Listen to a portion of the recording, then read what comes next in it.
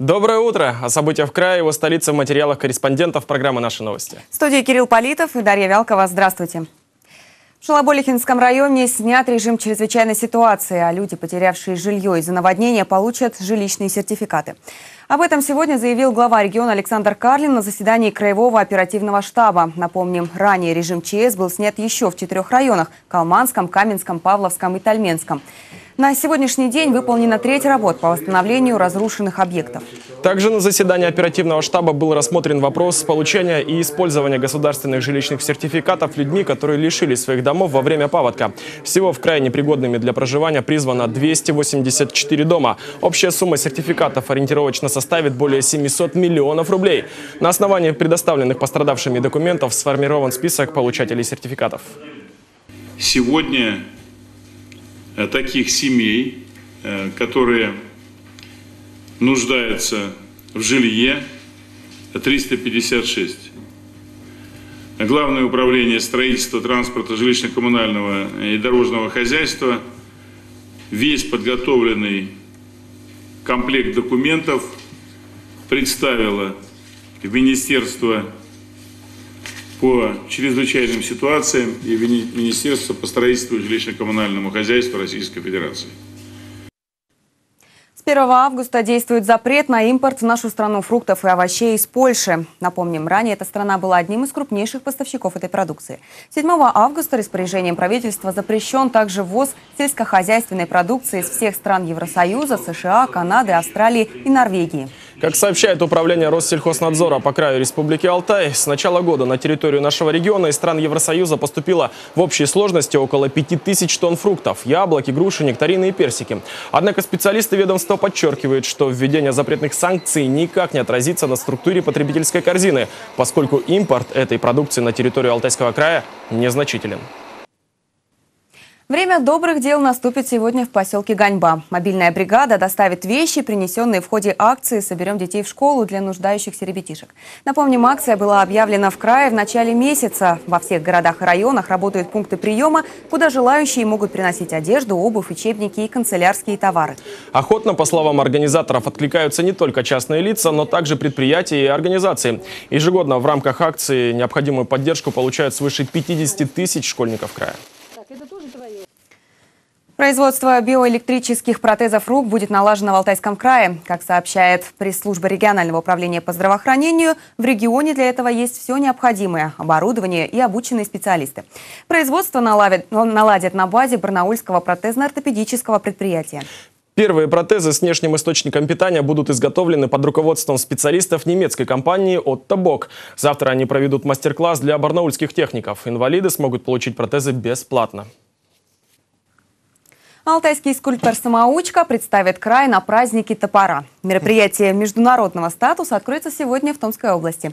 Лучшие плотники из Норвегии, Канады, Финляндии, Болгарии, Чехии, США и, конечно же, России продемонстрируют свои таланты. Им предстоит сразиться в номинациях «Творческие фантазии», «Ловкий топор», «Точный глаз». Алтайский край вновь представит Александр Парфенов, скульптор-самоучка с 25-летним стажем.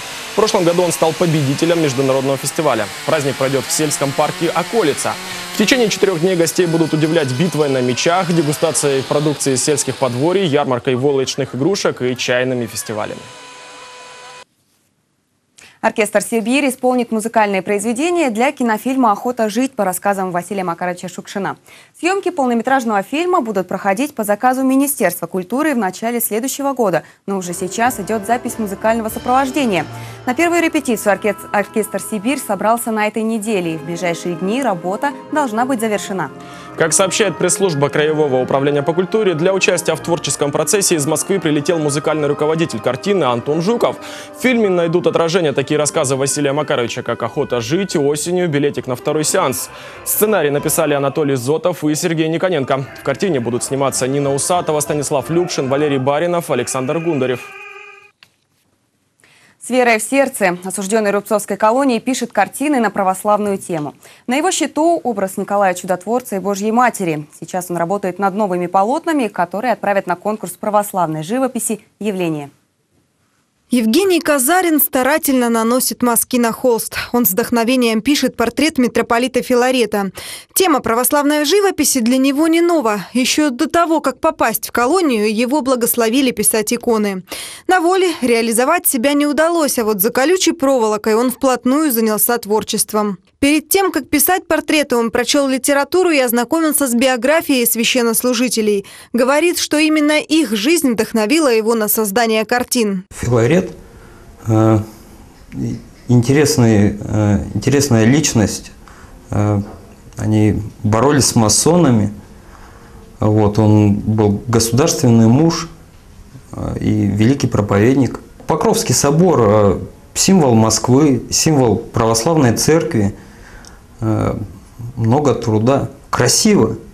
В настоящее время в 10-й колонии идет реконструкция молильной комнаты. Помещение увеличивают. Сейчас здесь голые стены, но вскоре они приобретут достойное убранство. Руководство учреждения предложило Евгению Казарину приложить мастерскую руку и написать несколько икон для прихода. Некоторые иконы, конечно, будут нам предоставлены с Русской Православной Церкви. Сейчас мы, конечно, делаем там ремонт, то есть она расширяется, молельная комната для осужденных на больше число прихожан, чтобы можно было больше осужденных приходить туда и где-то помолиться и очистить свои, свою душу. К росписи прихода Евгений приступит после того, как закончит конкурсные работы. Он рад, что его творения востребованы, пусть даже внутри учреждения.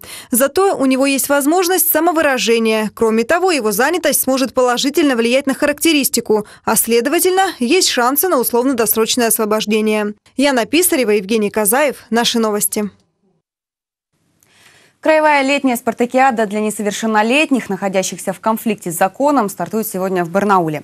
На базе социально-реабилитационного центра для несовершеннолетних «Солнышко» подростки из Барнаула, Бийска, Рубцовска, Новоалтайска и Троицкого районов будут соревноваться в различных спортивных дисциплинах. Ребята примут участие в соревнованиях по гиревому спорту, перетягиванию каната, подтягиванию на перекладине, беге, прыжкам и волейболу. Летняя спартакиада проводится ежегодно, чтобы привлечь подростков, которые нарушили закон, к здоровому образу жизни и организованному досугу.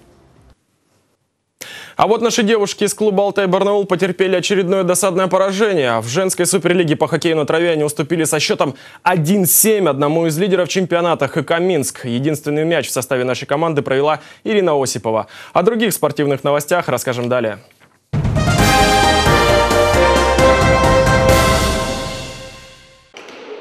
Женская команда «Алтай Педакадемии» начала подготовку к новому сезону. Волейболистки приступили к подготовке к чемпионату России. Первый учебно-тренировочный сбор проходит в Красногорском районе. Состав команды пополнили две воспитанницы детско-юношеско-спортивной школы «Победа» и по одной из спортивных школ Новоалтайска и Петропавловского района.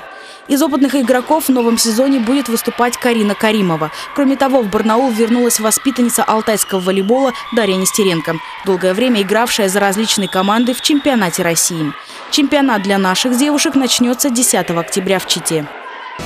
С 13 по 16 августа в Витебске прошла вторая Всемирная Олимпиада по гиревому спорту. Соревнования, которые проводятся раз в три года, собрали более 400 спортсменов из Беларуси, России, Украины, Казахстана, Венгрии, Германии, Польши, Латвии, Литвы и других стран. Приняли участие в них и алтайские ветераны Александр Грудинин, Петр Жинкин и Василий Перегудов. Все они вернулись с золотом. Петр Жинкин выиграл две золотых медали в номинации «Силовой трюк». Одной рукой он толкал сразу три гири. Александр Грудинин и Василий Перегудов стали чемпионами в свободной номинации «Рывок гири за 10 минут».